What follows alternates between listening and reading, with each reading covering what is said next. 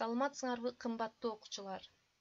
Бүгүн кыргыз адабиятынан бексултан жакиевдин өмүрү чыгармачылыгы жана атанын тагдыры драмасын өтөбүз.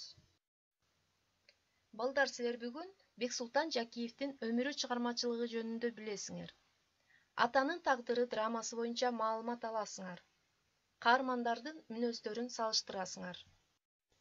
Бексултан жакиев. Бексултан жакиев бир миң тогуз жүз отуз алтынчы жылы ысык көл облусунун тоң районунун бөкөнбаев айылында туулган кмунун филология факультетин аяктаган. Бексултан жакиев атанын тагдыры аттуу алгачкы драмасы менен таанылган. Атанын тагдыры драмасы кыргыз драма театрында беш жүздөн ашуун жолу коюлган. Драматургдун адам турмушунун ар кыл жагдайларына арналган курч көйгөйлүү драмалары бар ал бир катар новелла аңгеме очерк киносценарийлердин автору. Айрым чыгармалары орус якут казак жана башка тилдерге которулган. Чет өлкөлөрдүн театрларында коюлган. Кыргыз ссринин искусствосуна эмгек сиңирген ишмер кыргыз эл жазуучусу кыргыз ссринин токтогул атындагы мамлекеттик сыйлыгынын казакстандын эл аралык сыйлыктарынын лауреаты болгон атанын тагдыры драмасы.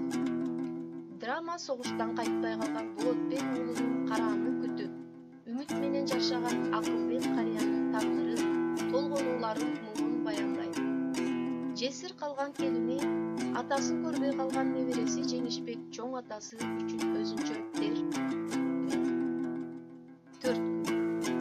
Атанын тагдырын бексултан жакиев төрт күндө жазып аны автор студент кезинде күнү түнү уктабай жараткандыгын айтат жыйырма бир жаш. Чыгарманы жазганда бексултан жакиев жыйырма бир жашта болгон пьеса коюлушу менен эле көрүүчүлөр тарабынан абдан жакшы кабыл алынган редакторлор таанышмак болуп ал эми чыгарманын жаралышы кыргыз драматургиясындагы эң чоң окуя ири бурулуш учурга айланган.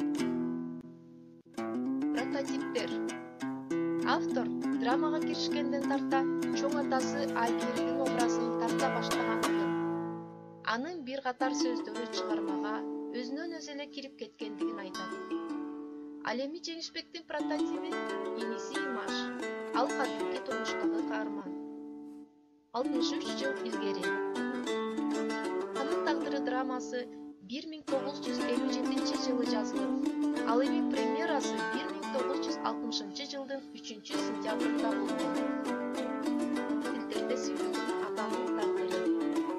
чыгарма казак түркмө тажик жана корей тилдеринде которулган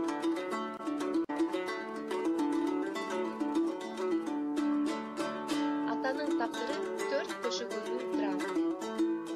Драма согуш бүткөндөн кийинки жылды чагылдырган. Окуя акылбектин үйүндө өтөт. Акылбектин жалгыз баласы болотбек согушта көз жумган бирок андан калган туяк бар болотбегинен ажыраган келинчеги зуура кан жутуп араң жүргөндө төркүнүнөн жеңиси кызыбыз болотбектен теңин тапканга жетине албай сүйүнгөнбүз бирок кудайдын буйругу экен.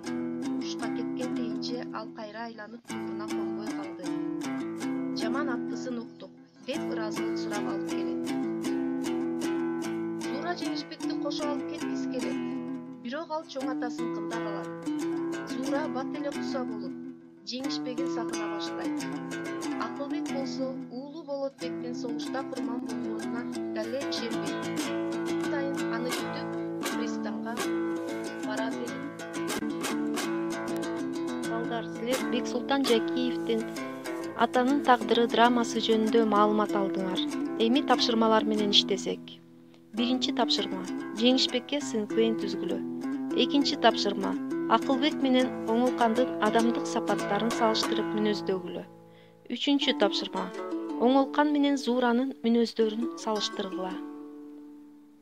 Ушуну менен сабагыбыз аягына чыкты көңүл бурганыңарга рахмат саламатта калгыла